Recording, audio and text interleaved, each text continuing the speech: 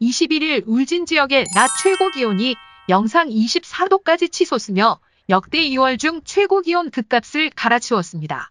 울진군의 2월 중 하루 최고 기온이 가장 높았던 때는 1993년 2월 6일 22.4도였으나 이날 낮 1.6도 더 높았습니다.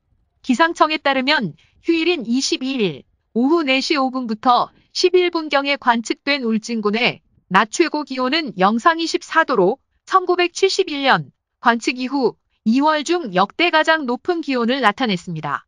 또 평년 8도에 비해서도 무려 16도나 높은 기온 분포를 보였습니다. 울진군의 낮 기온이 크게 오르자 왕피천 공원과 검산, 응봉산 등지에는 봄 정취를 만끽하려는 인파들로 북적거렸습니다. 특히 왕피천 공원에는 평소보다 5배 이상 많은 가족 단위 나들이 객이 찾아와 즐거운 한때를 보냈습니다.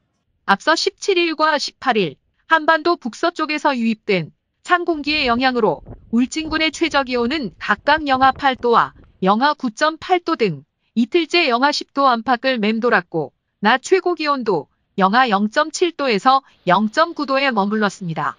이후 기온이 점차 회복되며 20일은 20도에 이어 21일 낮에는 고온 현상이 발생한 것입니다. 울진방송 단신이었습니다. Ulgin Media Network Channel.